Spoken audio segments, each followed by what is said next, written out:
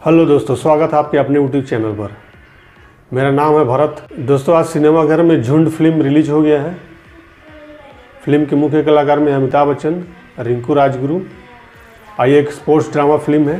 Film के director हैं नागराज पोपट राव मंजुले आई एक मराठी डायरेक्टर हैं, जिनकी पिछली फ़िल्म सैराट ने अच्छा कमाल कर दिया था। उनका नाम बहुत अच्छे डायरेक्टर में गिना जाता है।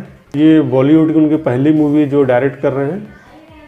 और वो एक रियलिस्टिक सिनेमा बनाने में ज़्यादा बिलीव करते हैं। और झुंड भी एक रियल बेस्ड मूवी है, जो स्पोर्ट्स ड्रामा पर आधारित है। दोस्तों, आइए तो इसी मूवी का आज रिव्यू करते हैं। फ़िल्म का नाम है झुंड। दोस्तों, अगर ये वीडियो आपको अच्छा लगेगा तो प्लीज़ मेरे चैनल को सब्सक्राइब कर देंगे लाइक कमेंट शेयर भी कर देंगे। फ़िल्म की कहानी इस प्रकार है। फ़िल्म के एक प्रोफेसर है, विजय बरोडे, जो कि नागपुर के कॉलेज में पढ़ाते हैं। और वो उनका रिटायरमेंट का ही सीज़न चलते रहता है, उनका रिटायरमेंट होने ही वाला रहता है। और वो एक दिन स्लम एरिया से गुजरते हैं। वो देखते हैं कि कुछ गरीब बच्चे टीन से बने फुटबॉल से खेलते रहते हैं। उनको एक आइडिया आता है कि क्यों नहीं गरीब बच्चे को अच्छा से ट्रेनिंग दिया जाए, और उनको फुटबॉल टीम बनाया जाए, और फुटबॉल टीम्स में खिलाया जाए। और वो जो गरीब बच्चे रहते हैं, बहुत ही ज़्यादा गरीब रहते हैं, कुछ डेली मजूरी करते रहते हैं, और किसी किसी के तो क्रिमिनल एक्टिविटी भी रहता है। और वो कैसे प्रोफेसर उन बच्चों से कैसे जाके मिलते हैं, कैसे आकर्षित होते हैं, कैसे उनको मनाते हैं, अपने टीम में लाते हैं, कैसे उनको ट्रेनिंग देते हैं, बाकी यही सब फ़िल्म में दिखाया गया है।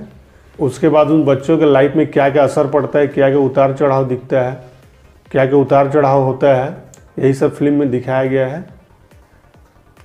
फ़िल्म वैसे फ़िल्म बहुत अच्छी बनी है।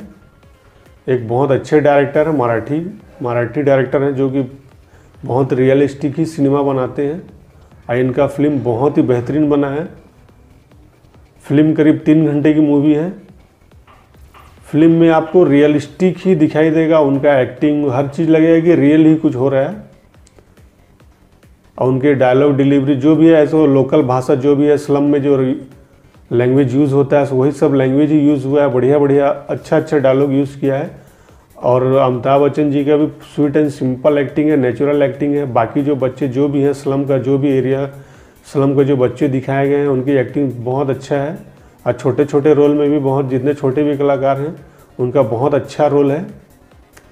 अगर फ़िल्म का एक लाइन में रिव्यू किया जाए तो फ़िल्म एक एंटरटेनमेंट फ़िल्म है। फ़िल्म फुल टाइम पास है। प्लीज़ आप जाके अपने नज़दीकी सिनेमा करके फ़िल्म को ज़रूर देखें। और मुझे ये बताइए फ़िल्म आपको कैसा लगा? कमेंट सेक्शन में। दोस्तों, अगर आपको वीडियो अच्छा लगा होगा तो प्लीज़ मेरे चैनल सब्सक्राइब कर देंगे लाइक, कमेंट, शेयर।